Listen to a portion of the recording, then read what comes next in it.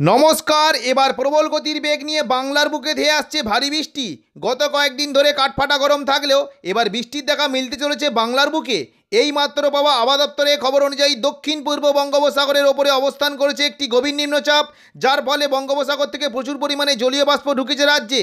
এই নিম্নচাপের ফলে আবহাওয়ায় কতটা বদল হতে পারে ও আগামী পাঁচ দিন পশ্চিমবঙ্গ ও বাংলাদেশের কোন কোন জেলায় বৃষ্টির সম্ভাবনা রয়েছে এবং চাষি বন্ধুরা সতর্ক থাকবেন নাকি নিশ্চিন্ত হয়ে থাকবেন, সবই বিস্তারিত আলোচনা করব এই খবরে।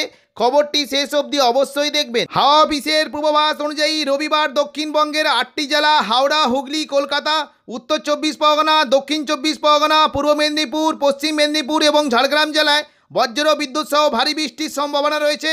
বাকি সাতটি জেলা, পুরুলিয়া, বাঁকুড়া, পূর্ব পশ্চিম বর্ধমান, বীরভূম, মুর্শিদাবাদ এবং নদিয়াতে বজ্র বিদ্যুৎ সহ হালকা বৃষ্টির সম্ভাবনা রয়েছে। পরবর্তী চব্বিশ ঘণ্টা, অর্থাৎ সোমবার পূর্ব, পশ্চিম মেদিনীপুর, উত্তর, দক্ষিণ চব্বিশ পরগনা, হাওড়া, হুগলি, কলকাতা এবং ঝাড়গ্রাম জেলায় বজ্র বিদ্যুৎ সহ হালকা থেকে মাঝারি বৃষ্টির সম্ভাবনা রয়েছে।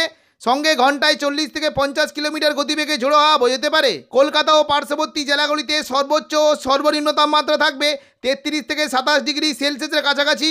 বাতাসে সর্বোচ্চ আর্দ্রতার পরিমাণ থাকবে উননব্বই শতাংশের আশেপাশে। উত্তরবঙ্গের আবহাওয়ার পূর্বাভাস অনুযায়ী দার্জিলিং, জলপাইগুড়ি, কালিম্পং, আলিপুরদুয়ার এবং কোচবিহারে বজ্র বিদ্যুৎ সহ হালকা থেকে মাঝারি বৃষ্টির সম্ভাবনা রয়েছে। এছাড়াও উত্তর ও দক্ষিণ দিনাজপুর এবং মালদাহতে বজ্র বিদ্যুৎ সহ হালকা বৃষ্টির সম্ভাবনা রয়েছে। উত্তর পূর্ব ভারতের আবহাওয়ার পূর্বাভাস অনুযায়ী আগামী পাঁচ দিন হালকা থেকে মাঝারি বৃষ্টির সম্ভাবনা রয়েছে। অরুণাচল প্রদেশ, আসাম, মেঘালয়, নাগাল্যান্ড, মণিপুর, মিজোরাম, ত্রিপুরা এবং সিকিমে। বাংলাদেশের আবহাওয়ার পূর্বাভাস অনুযায়ী রবিবার বাংলাদেশের খুলনা, বরিশাল, চট্টগ্রাম ও সিলেট বিভাগের বেশিরভাগ জায়গায় হালকা থেকে মাঝারি বৃষ্টির সম্ভাবনা রয়েছে। এছাড়াও ঢাকা, রাজশাহী, রংপুর ও ময়মনসিং বিভাগের কিছু কিছু এলাকায় হালকা থেকে মাঝারি বৃষ্টির সম্ভাবনা রয়েছে। উপকূলবর্তী এলাকাগুলিতে সন্ধ্যের দিকে ঘন্টায় তিরিশ থেকে চল্লিশ কিলোমিটার গতিবেগে ঝোড়ো হাওয়া বোঝাতে পারে। এখনকার মতো খবর এখানেই। পরবর্তী আপডেট পাওয়ার জন্য চ্যানেলটিকে অবশ্যই সাবস্ক্রাইব করে পাশে থাকা নোটিফিকেশন বেলটি অবশ্যই ক্লিক করে রাখবেন। আর যদি আপনাদের এই খবরটি ভালো লাগে, তাহলে লাইক ও শেয়ার করতে ভুলবেন না। ধন্যবাদ।